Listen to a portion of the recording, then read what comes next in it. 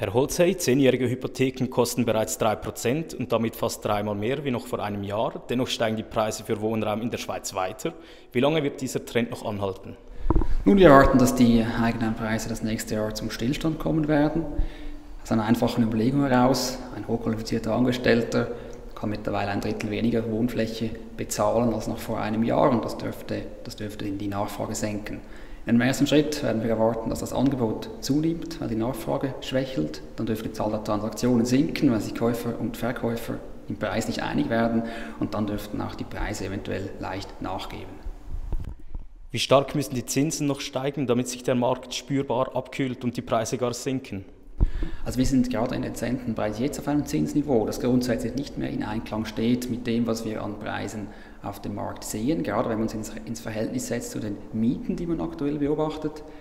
Natürlich, wenn jetzt die Zinsen nochmal um ein Prozent ansteigen würden, dann würden die Preise auch nominal relativ deutlich zu sinken beginnen, da es einfach schlicht nicht mehr finanzierbar wäre für viele Haushalte. Die höheren Zinsen dürften das Wirtschaftswachstum dämpfen, wenn nicht gar abwürgen und äh, führt es nicht zu einer Korrektur?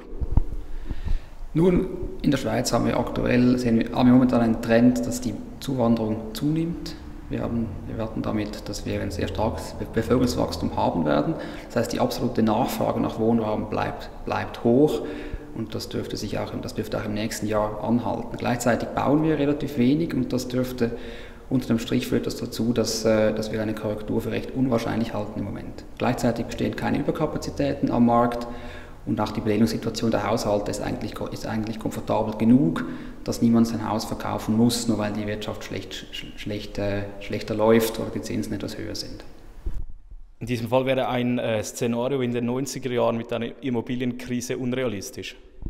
Das ist momentan sehr, sehr unwahrscheinlich, zumindest solange die Zinsen jetzt nicht gerade auf 5% auf 5% in die, Höhe, in die Höhe schnellen. Erstens ist die Transparenz viel höher als damals am Markt, zweitens haben wir keine Überkapazitäten am Markt und ja, wir erwarten auch jetzt eben nicht, dass die Schweiz in eine Phase der Abwanderung gerät, wie wir es damals in den 90er Jahren gesehen haben. Wie stark werden die Kapitalmarkt- und damit auch Hypothekarzinsen in diesem Zyklus insgesamt steigen? Wo ist das Ende der Fahnenstange? Ja, also wir denken, wir sind schon recht nah am Ende der Fahnenstange, zumindest bei den langfristigen Festhypotheken. Jetzt bei den Geldmarkthypotheken, diese werden noch etwas teurer werden. Wir erwarten, dass die Nationalbank nächstes Jahr bei 1 oder bei 1,25 Prozent äh, sein wird und dann aber auch auf diesem Niveau bleiben wird. Also viel mehr wird es wahrscheinlich im Euroraum kaum ertragen, also kaum vertragen. Und damit ist auch das Potenzial in der Schweiz für noch höhere Zinsen äh, limitiert.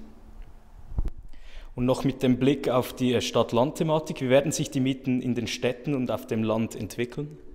Also die Mieten dürften schweizweit zu steigen beginnen im nächsten Jahr oder noch stärker steigen, als sie dieses Jahr getan haben. Besonders starke Mietpreisanstiege erwarten im Großraum Zürich, in der Zentralschweiz und am Genfersee, wo aufgrund der Knappheit die Mieten bis zu 5% ansteigen dürften.